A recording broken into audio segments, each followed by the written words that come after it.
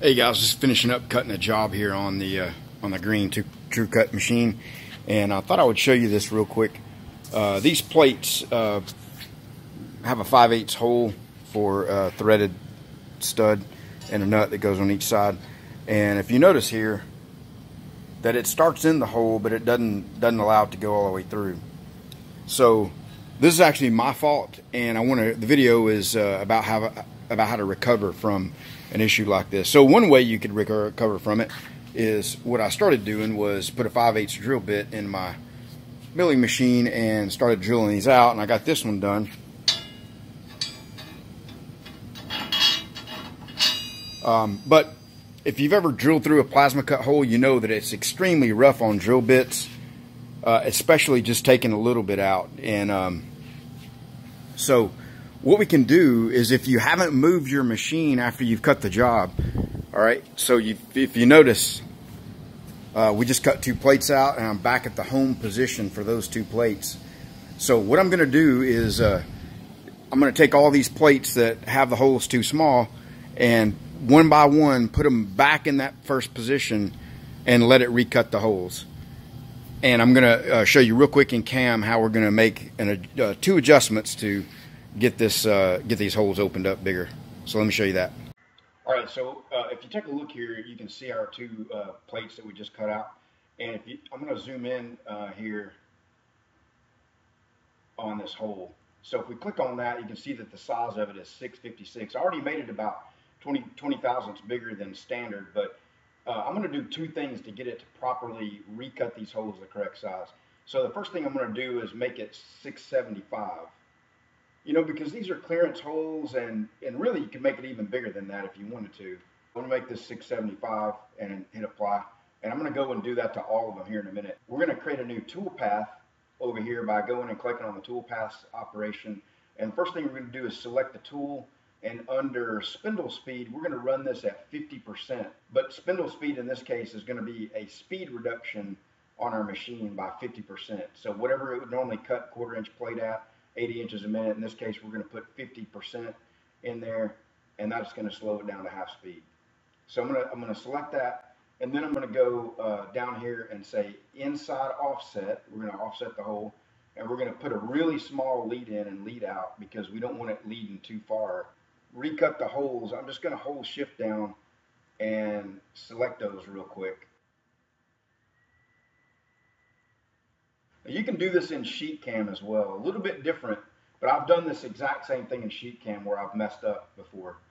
And uh, so now the only thing it's going to create a cam uh, pro or cam toolpath for is are those first set of holes. So I'm going to hit calculate, and it's going to give us an error message here, and we're going to ignore that. All right, so now you can see if I go way in here close, you can see our little lead in. All right, so we're sticking our thumb drive in and I'm gonna go program, download, and recut holes is our first one. So we're gonna open that up. And there you see on the screen are just the holes. All right, so uh, from here, the machine should be already all set. We're just gonna double check the process, plasma. So we got mild steel quarter inch and we're using our uh, 60 amp unshielded uh, consumable there. So, so we can just close back out of that. And then uh, so we can say preview next job. So now we've got that in our next job cutting window. And from here it's it's ready to cut. So let me show you uh, what we're gonna do. So you can see that we've we've got the machine set up just like we had it. So I'm gonna go grab one of the plates that the holes are too small. I'm gonna slide this back in there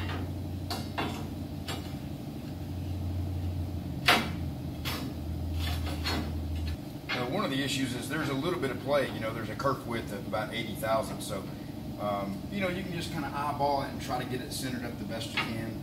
You know, I don't think it's going to matter a lot, again, because of uh, the way this fits up. But I'm just going to try to get that centered. And just to confirm, see that's not going in there. So I think we're all set. We're just going to hit cycle start. I'm going to double check the plasma cutter and uh, we'll recut those holes. Now the one thing we're gonna have to do is cheat it a little bit and slide a piece of uh, metal underneath there. So we're just gonna let it reference off of this when it goes down to reference and we'll, we'll yank it back out but you got to be fast on this machine. It it does not play around uh, when it comes to the referencing and all that. So let's see if we can make this work.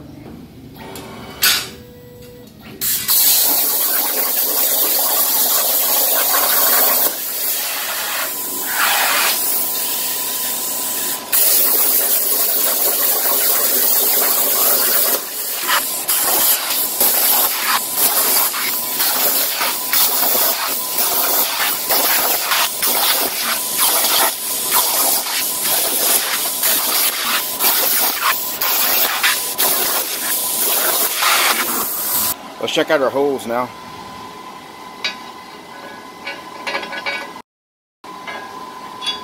That one's got a slat below it.